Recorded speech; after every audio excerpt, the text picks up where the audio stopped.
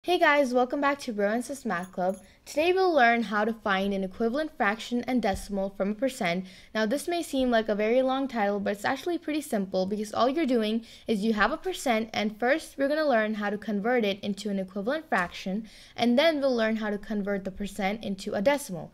So first let's start with uh, converting a percent to an equivalent fraction. So the rule is when finding an equivalent fraction from a percent, First, convert the percent into a fraction, and then you can convert that fraction into an equivalent or equal fraction. So we know that equivalent means equal.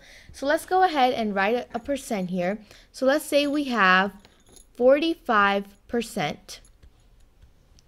Now, in order to find an equivalent fraction, First, we have to find a fraction. So we have to convert this percent into a fraction.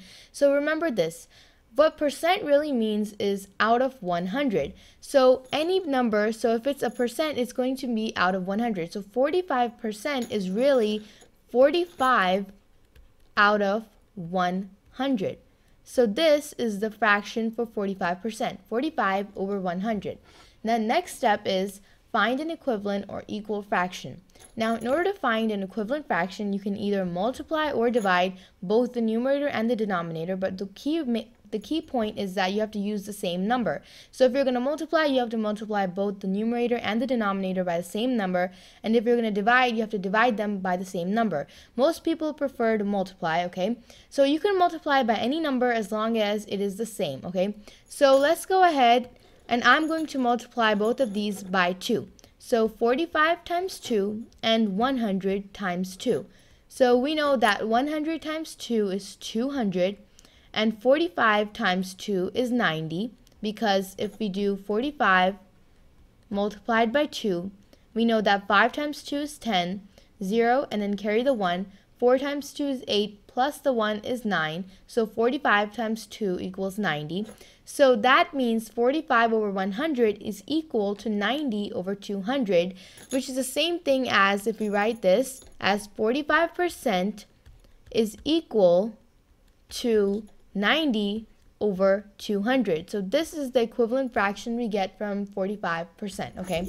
So this is how you find an equivalent fraction from a percent. Now let's move on and find a decimal from a percentage, okay? So now let's read our second rule, which says, when finding a decimal from a percent, First, convert the percent into a fraction, and then you can convert the fraction into a decimal. So this time, let's say we have 20%. The first step in this is to find the um, fraction, so convert this percent into a fraction. So remember, percent means out of 100, so 20% is the same thing as 20 out of 100.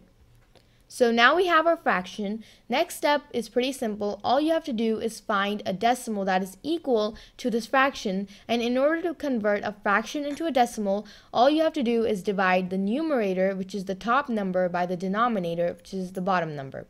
Now, before we divide, we can eliminate zeros here because we really don't need them. After all, you're going to be dividing. So for every zero that you cut out in numerator, you have to cut out the equal number of zeros in the denominator. So that means if I cut out one zero from the 20, I can cut out one zero from the 100. It just makes it shorter because when you're dividing, it's more simpler. So now 20 out of 100 reduced is 2 over 10, which is the same thing as 0 0.2. And I got 0 0.2 because if you divide 2 by 10, we know that we cannot divide 2 by 10 because we're gonna be, the 2 is smaller than the 10. So you put a decimal point up in the quotient, add a 0. We know that 10 goes into 20 twice, and you get 0 0.2 or 0.2.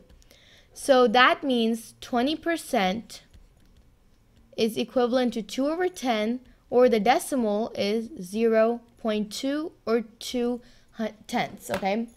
So that's all I have for this video. I hope you guys learned something from, uh, valuable from this video. If you want extra practice problems on this topic or any other topic, please feel free to visit our website.